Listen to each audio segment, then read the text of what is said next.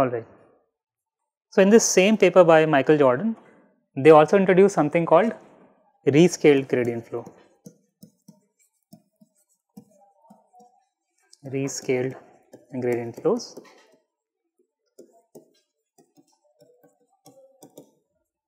And as I said, gradient normalization is important. So, this rescaled gradient flow was actually scaling the gradient. So, the dynamical system looked something like this. So, usually for simple gradient flow, we would we would have x dot is negative of gradient of f. In the, so in rescale gradient flow, this turns out to be this divided by the norm of the gradient raised to the power p minus 2 over p minus 1 with p greater than equal to p greater than strictly greater than 2. Okay. So, first of all is the dynamical system clear to everyone? So, this dynamical system has the same equilibrium as the uh, simple gradient flow, right? x equal to x star, I mean again in this case, the bo in both cases it vanishes at x equal to x star. So, it has the same equilibrium as, uh, as simple gradient flow. Not just that, the trajectory followed by x is exactly the same as the trajectory followed by. So, this is just like rescaling the flow like how quickly you traverse the trajectory, but the trajectory stays the same. So, x as a function of time changes, but the phase portrait of x that remains the same. Okay. So, you are just traversing the trajectory much faster than uh, uh, than simple gradient flow. It will be exactly the same in continuous time. The moment you discretize, then it I mean you cannot say. So, in fact, if I just normalize it with respect to the norm of the gradient, that becomes a unit velocity vector field. So, that means that it, the velocity changes, but it, the I mean the trajectory that stays the same. Okay. So, for this particular rescale gradient flow, uh, so Michael Jordan's group they showed that the convergence rate is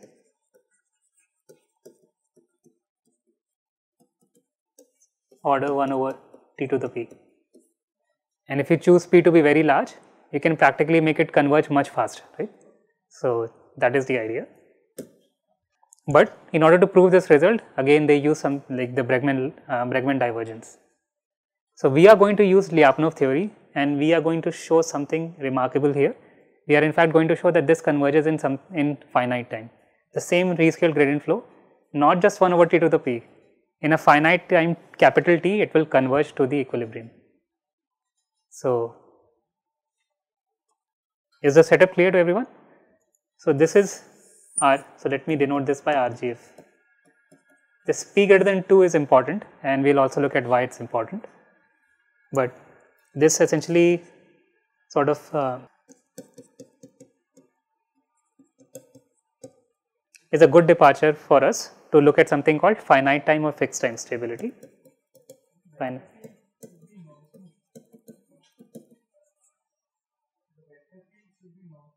It's it's Holder continuous at 0 yeah i mean as in like at, x star essentially. I mean the it's Holder continuous. Everywhere else it's smooth.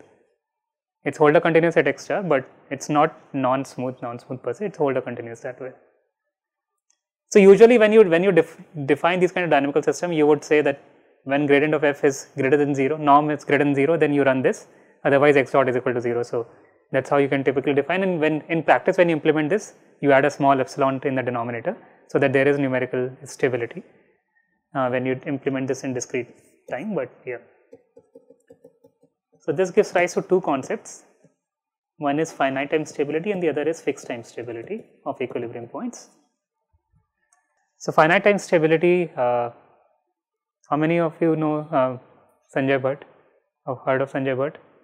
So, he was a faculty here till 2007 in aerospace. He's now at uh, TCS research, but finite time stability was a seminal contribution uh, during his PhD thesis in 98 I think. So, and this fixed time stability is a generalization of finite time stability and this was proposed by Polyakov very recently in fact in 2012. And the idea is with finite time stability, so if I consider the same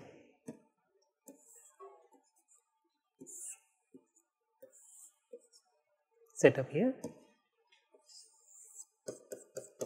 So, you start in some ball around the uh, let us say equilibrium. So, with finite time stability you are guaranteed to converge to the equilibrium in a finite amount of time t, but this time t is going to be dependent on your initial condition x naught. Okay. So, this t is called settling time or settling time function because it is a function of x naught right. So, settling time function.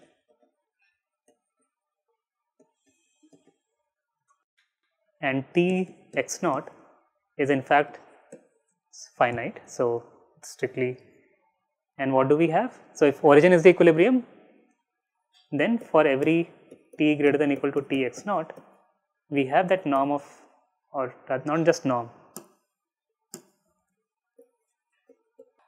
x t is equal to 0 for all t greater than this particular time if origin is equilibrium. I mean if x star is equilibrium then it would be x equal to x star for all. So, what is fixed time then? So, Polyakov generalized this result and showed that with fixed time convergence, so T x naught is independent of x naught. So, that means you get initialization independent bound on how quickly you can converge. So, let us call this capital T now because it is independent of x naught initial condition and Polyakov showed that uh, there exists a fixed time t where independent of the initial condition for every t greater than equal to t x t is equal to 0 for all x naught. So, no matter where you start you are guaranteed to converge to the optimal solution or in this case the equilibrium uh, in a fixed amount of time. In the finite time stability case, you are guaranteed to converge again in a finite amount of time, but that amount of time, that time depends on the initial condition. So, if you are farther from the equilibrium, you may require larger time to converge, but that is not the case with uh, fixed time stability where you even if you are farther away from the equilibrium, you, are, you would still converge to the equilibrium in a fixed amount of time. So, how does these results uh, first of all have a Lyapunov characterization? So, let us let us look at Lyapunov characterization of finite time stability to get, get, get a sense of what this finite time stability is about.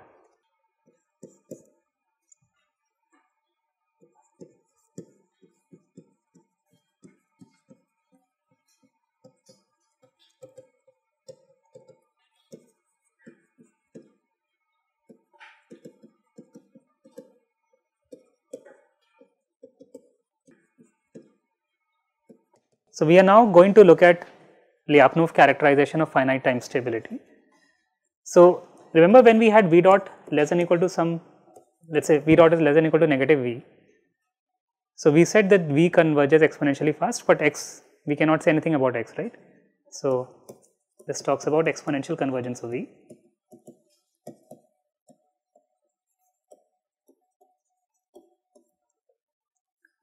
So, let us look at a different let us say if I arrive at a different kind of inequality and I say v dot is less than equal to v to the alpha, alpha with alpha less than 1. Okay. So, let us say we arrive at this kind of uh, inequality on time derivative. Okay. So, let us see what this what does this mean. So, that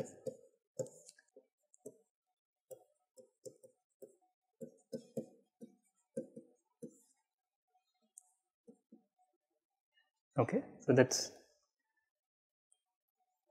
so, what is the integral of this term? 1 over 1 minus alpha, right?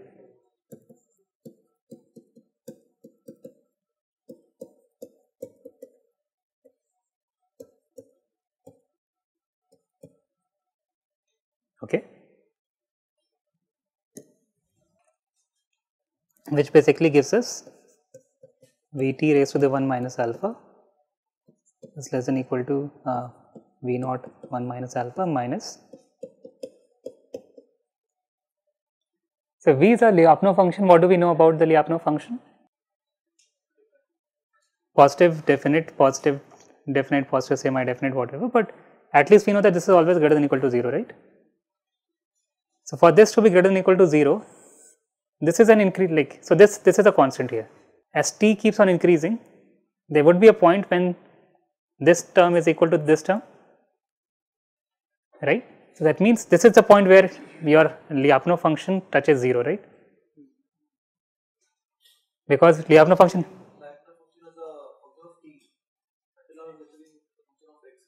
Yeah, but x is a function of t. So, I mean, you, you can have an explicit function of time or you need not even have an explicit function of time. The point is that this, this particular inequality implies that there would be some point after which this, this right hand side starts becoming negative, right? And because your Lyapunov function cannot be negative, so this is going to be valid only for time t. So, this t, let us say this, so there exists some time, let us call this tx naught, which is a finite time such that v naught 1 minus alpha is equal to 1 minus alpha times tx naught, right? Or tx naught is equal to So, your x naught kind of shows up in your v naught definition. The, at the point where you start, you get the initial condition for the Lyapunov function, right, or initial value. So, that is why you see the dependence is on the initial condition. But we know that for all t greater than equal to tx naught, your first of all your Lyapunov function is going to be 0. That means you are going to be at the equilibrium and you are guaranteed to arrive at the equilibrium in time t less than capital T x less than equal to capital T x naught. That means you have converged in a finite amount of time if you can show that there exists a Lyapunov function which satisfies this inequality. Okay. So, in fact, this is the characterization of fixed time stability of equilibrium of finite time stability of equilibrium and so so this is the this is the inequality that, that your Lyapunov function need to satisfy. So, your v of x greater than equal to 0 is strictly greater than 0 when x is not equal to x star and v dot is less than equal to negative v raised to the alpha with alpha less than 1. So, that is the condition for finite time stability. And not just that, this alpha plays a role.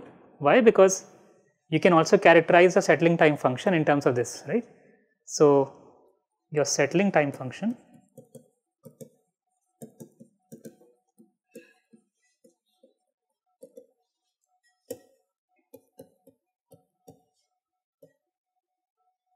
Or you can rather say that your settling time is also upper bounded by uh, v naught 1 or let me just write it clearly.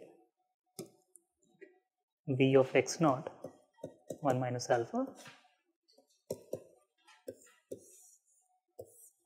okay. So this is true. If i mean if x star is finite time stable then this is true right? Okay. So, this basically gives us idea as to well I mean the choice of Lyapunov function is fine, but this basically tells us how to design this these kind of modified gradient flows. So, now let us try to reanalyze this uh, rescaled gradient flow, but instead of using Bregman divergence as was done in the original paper, we will try to use this particular result on finite time stability of a uh, finite time stability right. So, let us do that.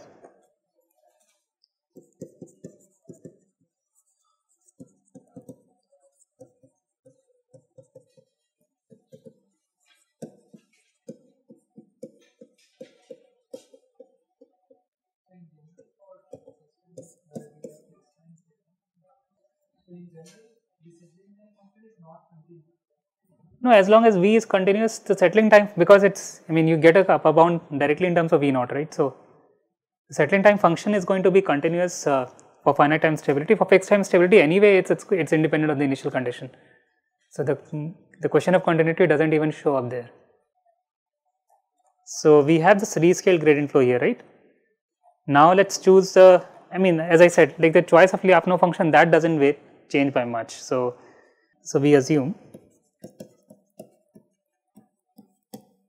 f is mu strongly convex okay.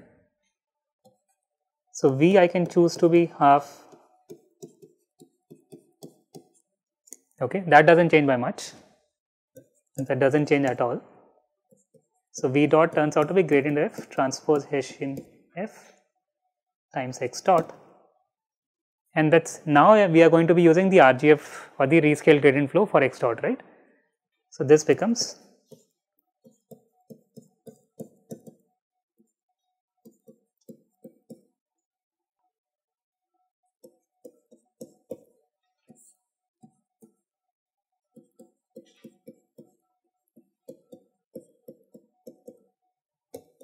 with p greater than 2. okay, just from RGF, right, rescale gradient flow. Now, because this is strongly convex, f is strongly convex, Hessian of f is lower bounded by mu times identity. So, I can write this as negative mu divided by the same term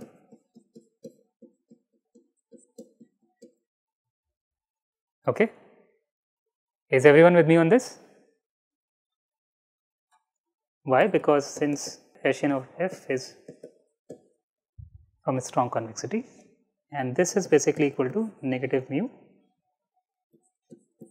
gradient of f times 2 minus p minus 2 minus 1 okay. Which is equal to negative mu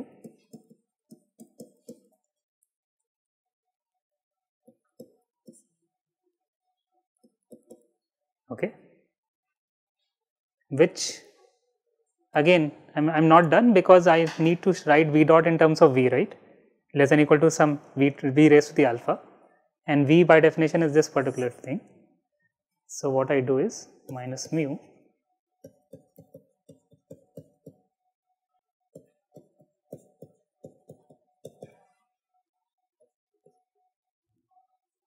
okay, which is minus mu.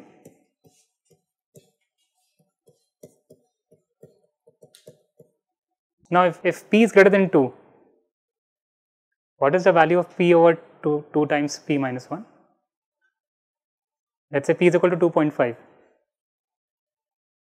So, this, this term is always less than 1. So, for p greater than 2,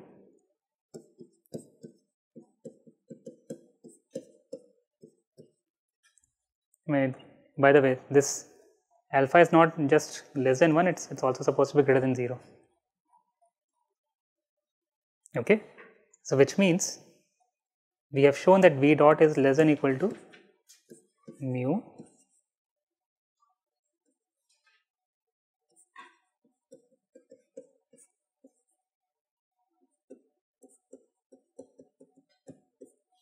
and since this is this term is less than 1 so therefore x star is finite time stable. And what is the settling time function? T t of x naught turns out to be v of x naught raised to the power 1 minus alpha where alpha is so choose alpha is equal to 1 minus alpha divided by this constant term here which is mine which is mu times 2 to the alpha times 1 minus alpha. Okay, this is your settling time function. So, not only you show that this converges in a finite amount of time, it converges, it converges uh, in a finite amount of time which is also which you can also characterize.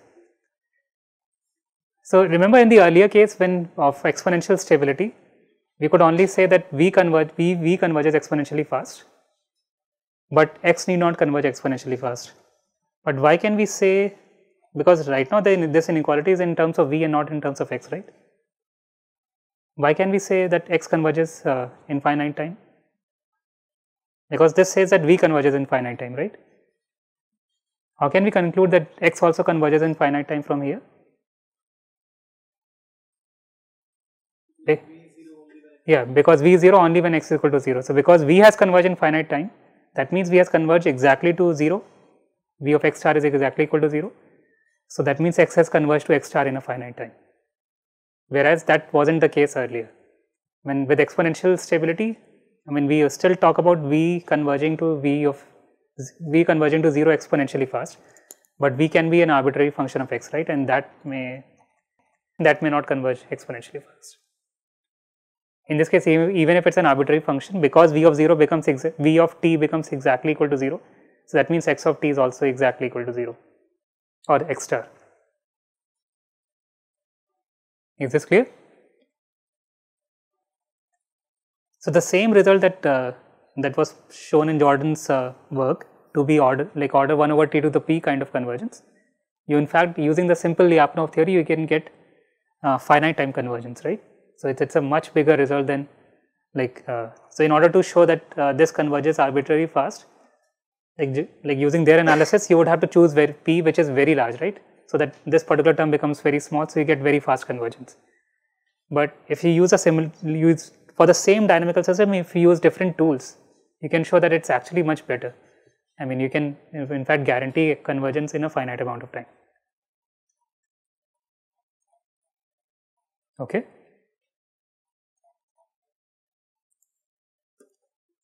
So, how does uh, this result extend to like how can we generalize this to fixed time stability case? So,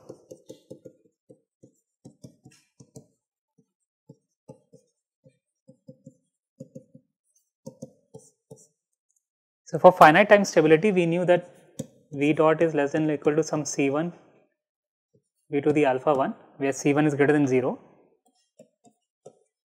and alpha 1 is a number between 0 and 1. With this you can guarantee finite time finite time stability right of the equilibrium. If you want to guarantee fixed time stability you would have to look add another term to it with alpha 2 greater than 1 and C2 greater than 0. So, if that is the case then actually you can show that this is fixed time stable.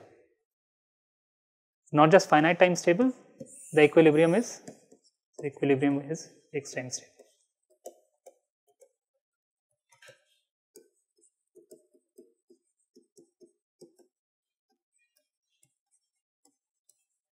So, that means no matter where you start you are guaranteed to converge to the equilibrium in a fixed amount of time and that settling time function t it is actually now it is not a function of x naught right it is independent of x naught that is actually upper bounded by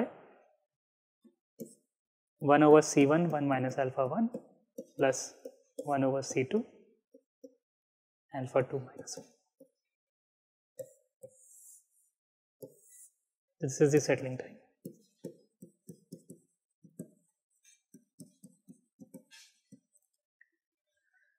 Okay. So, what is the difference? So, how is this particular thing able to guarantee finite time convergence versus why is the other term at like intuitively why is this the other term able to guarantee fixed time convergence. So, let us see what happens when we look at this particular thing right. So, when V is very large or let us say when V is when norm of V or the value of V is actually less than equal to 1 by choosing a like by exponentiating it to alpha which is a number between 0 and 1 you are making it bigger right you are making it bigger. So, even when the rate of decrease is actually getting smaller and smaller you are sort of uh, scaling this up using v raised to the alpha. So, the moment you hit that unity ball v equal to 1 right after that you are unlike the exponential convergence case you are actually scaling things up and that that is actually leading to faster convergence. But we do not care of, we do not take care of what happens outside that unity ball with this right in fact you are sort of slowing it somewhat. But we still get finite time conver convergence because we know that the convergence kind of once you I mean the convergence is kind of slow only cl uh, closer to the optimal solution right. So, there you are scaling things up and that basically helps you with faster convergence or in this case finite time convergence. In case of this particular condition you have one term to scale things up when you are inside the unit ball, but because alpha 2 is greater than 1, you actually scaling you scale things up when you are outside that unit ball, right. So, you converge to the unit ball faster first of all and then once you converge to the unit ball then you converge to the uh, optimal solution or the equilibrium faster because of this term. So, these two different terms they actually have a role at different regimes. So, if you start somewhere like farther away from the equilibrium you would have this term uh, basically contributing towards the decrease of the Lyapunov function. The moment you hit the unit ball, this term starts dominating the other term and that is when you would have, you would see that this term would guarantee finite. So, you converge to the unit ball in a finite amount of time, you can, once you are in the unit ball, you again converge in a finite amount of time. So, in, in summary, you basically converge in a fixed amount of time independent of the initialization. Now, how does this translate to designing the algorithm? So, so far before the rescale gradient flow, we were analyzing the algorithms that were already known to us, be it gradient flow or Newton's method and things like that, right. Rescale gradient flow was a way to somehow uh, engineer a different kind of gradient flow that can show faster convergence, right. So, let us look at another rescale gradient flow or another gradient flow similar to rescale gradient flow. But this time our objective is to be able to guarantee fixed time convergence, right, and not just finite time.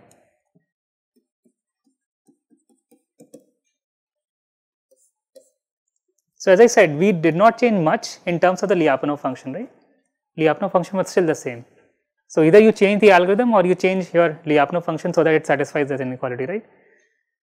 So we are going to keep the Lyapunov function as it is, but then we need to be designing our algorithm differently and now we are going to be using, so earlier this was the algorithm, okay. Now I am adding another term to it, why? Because I want to get that kind of result with my Lyapunov function v.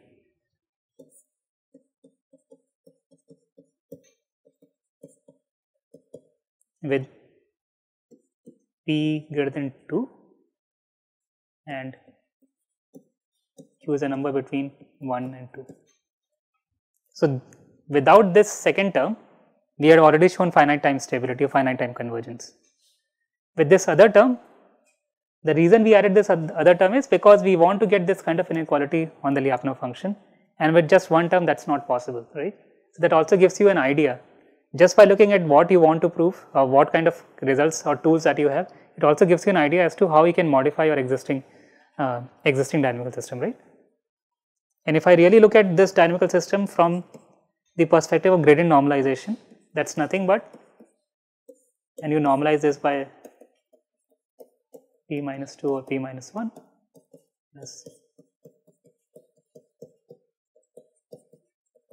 So, this is the normalization factor here in the bracket and what you are basically running is again a gradient descent, but you are just normalizing the gradient. Okay. So, let us see how this guarantees uh, fixed time convergence. So, as I said we are going to be choosing the same Lyapunov function. Again we are going to be assuming that f is strongly convex. So, v dot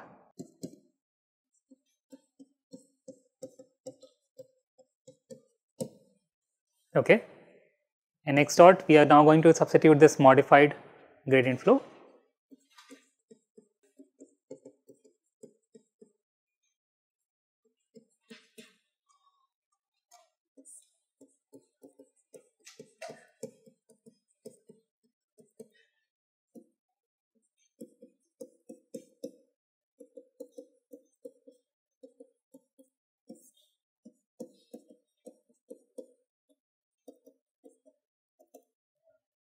Okay? And this is less than equal to minus mu. If you if just following the same kind of analysis it is exactly in fact the same. You get 2v p over 2 p minus 1 minus mu 2v q over 2 q minus 1 right that is using the similar analysis that we followed in for fi finite time stability. That is what we get.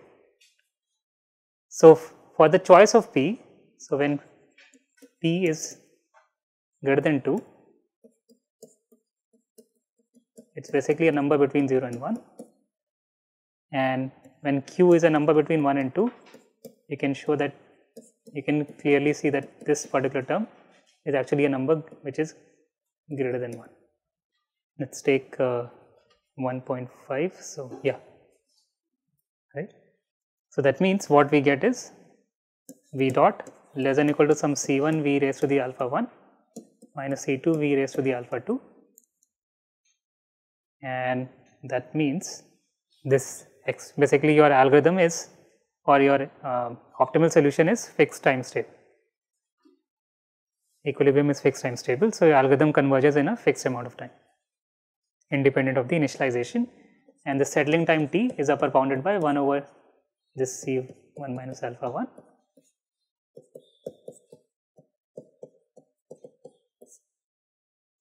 Okay. So, what did it require us to do? It required us to uh, actually, I mean we know the result that we want to arrive at right and it, the previous exercise also gave us idea as to what kind of uh, gradient normalization one can potentially use. So, if you want to accelerate this further, you can use even better normalization because we want to arrive at uh, this condition for fixed time stability, right? So you have to add this additional term. Okay. So this kind of gives you an idea as to how one can design new algorithms, right? And this is all motivated from the kind of tools that we have, have available in continuous time, the kind of uh, stability theory analysis that one can do. And if you have that thing mapped out, then basically it also helps you not just analyze the existing algorithm, but design the new algorithms, right? So you can eventually use this continuous time, implement this in discrete time and in fact we have done so while in, in order to provide guarantee in discrete, discrete time is little tricky.